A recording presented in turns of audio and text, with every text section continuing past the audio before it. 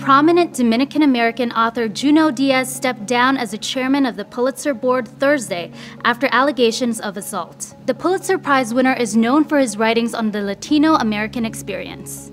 Look, man, uh, white people didn't just materialize in this hemisphere. Right. You know, all these folks, if you're not indigenous, you're part of this thing that we call immigration and not wanting to recognize it not only erases the bloody history of why we're here but also is so uh, such a rank attack on the communities that have really powered this nation. Diaz recently wrote in the New Yorker about being raped as a child and how dealing with that traumatic experience hurt the many women he dated. But after the story's publication, writer Zinzi Clemmons accused Diaz of forcibly kissing her several years ago. On Twitter, she wrote, I was an unknown wide-eyed 26-year-old, and he used it as an opportunity to corner and forcibly kiss me.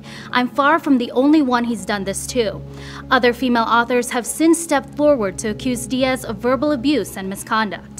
Following the allegations, Diaz released a statement saying he intended to take the responsibility for his past. This conversation is important and must continue. I'm listening to and learning from women's stories in this essential and overdue cultural movement. While Diaz stepped down as the Pulitzer board chairman, he'll continue to be part of the board. MIT, where Diaz teaches, is reportedly investigating the allegations as well. Even though admirers of Diaz's work have shared their disappointment, one writer says these allegations mean even more to the Latino community. As members of an underrepresented group, we celebrate the success stories in our communities.